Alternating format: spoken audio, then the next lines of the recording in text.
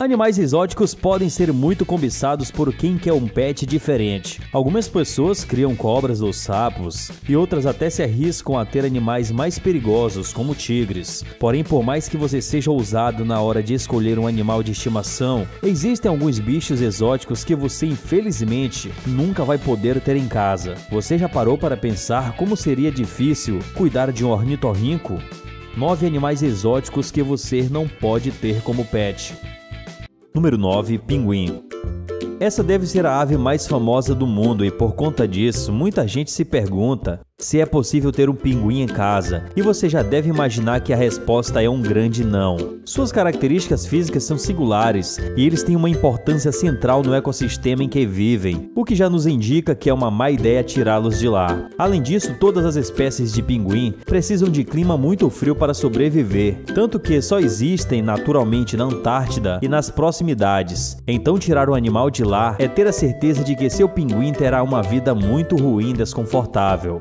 Algumas pessoas até tentam domesticar essa ave, mas isso com certeza não é o melhor para ela.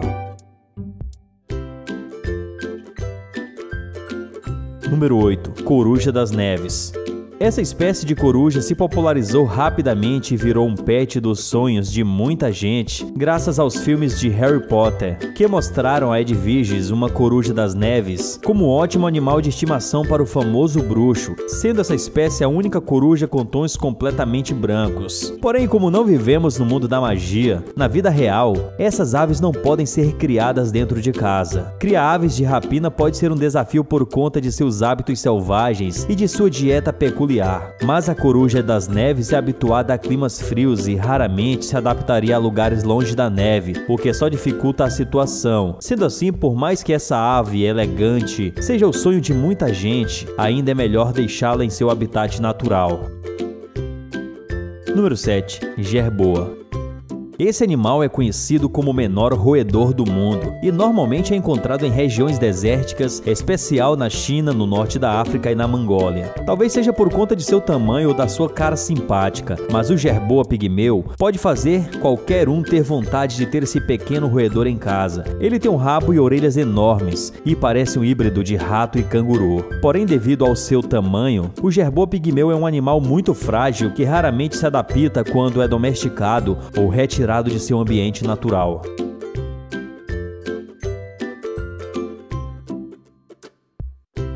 Número 6. Sag pigmeu. Ele é a menor espécie de símio conhecida, pesando cerca de 130 gramas e medindo menos de 15 centímetros de comprimento sem considerar a cauda, e por isso também é chamado de macaco de dedo em alguns lugares, pois fica muito bonitinho quando está agarrado ao dedo de alguém. O sag pigmeu pode ser encontrado nas regiões mais oeste da floresta amazônica, embora também existam espécies residentes na Mata Atlântica. Ele costuma ser traficado ilegalmente para ser vendido como animal de estimação, e por serem bem bem pequenos, acabam sendo usados como acessórios por muita gente e podem até morrer de depressão por estar em um ambiente tão diferente. Então, esses lindos primatas não podem ser animais de estimação. Número 4. Panda vermelho. Pandas são mamíferos adoráveis e o panda vermelho é o preferido de muita gente, pois é uma espécie pequena, tímida e que se assemelha muito com uma raposinha. Sua dieta é baseada em bambu e insetos, mas o pequeno panda está em perigo de extinção e não é uma boa ideia levá-lo para sua casa. Em primeiro lugar, o panda vermelho é muito sensível ao calor e com certeza não iria gostar do clima do Brasil.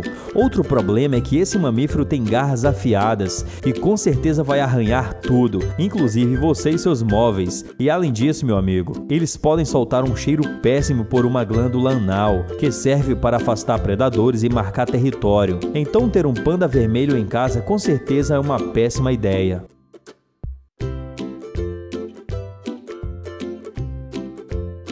Número 3 Outro animal de clima frio que chama a atenção das pessoas é o leopardo das neves, um felino incrível que tem uma das habilidades de camuflagem mais incríveis do planeta, e por isso é quase impossível encontrar um deles na natureza. O leopardo das neves é recluso e arredio, então mesmo que se encontre um, é difícil se aproximar e isso pode causar um grande estresse ao felino. Sendo assim, é muito difícil conseguir um desses animais e também bem pouco recomendado, já que ele pode se tornar muito agressivo se for incomodado.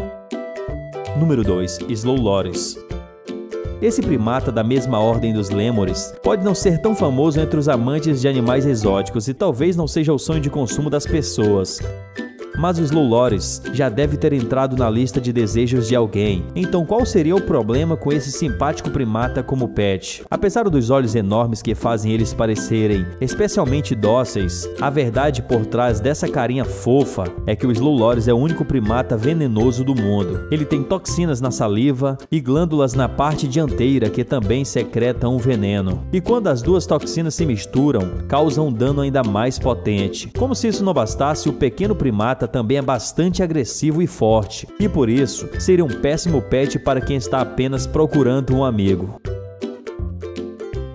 Número 1. Ornitorrinco esse mamífero sempre chama a atenção de muita gente por ser um animal único com características muito peculiares. Nativo da Austrália, o ornitorrinco é carnívoro, tem bico, não possui dentes e é um dos poucos mamíferos conhecidos que colocam ovos. Como se não bastasse, ele passa boa parte do tempo nadando e, por incrível que pareça, é um animal de pequeno porte, pesando mais ou menos 1,5 kg e medindo cerca de 40 centímetros, sem considerar a cauda. Além disso, o ornitorrinco macho é um animal que tem um ferrão venenoso na pata traseira, que ele usa para se defender.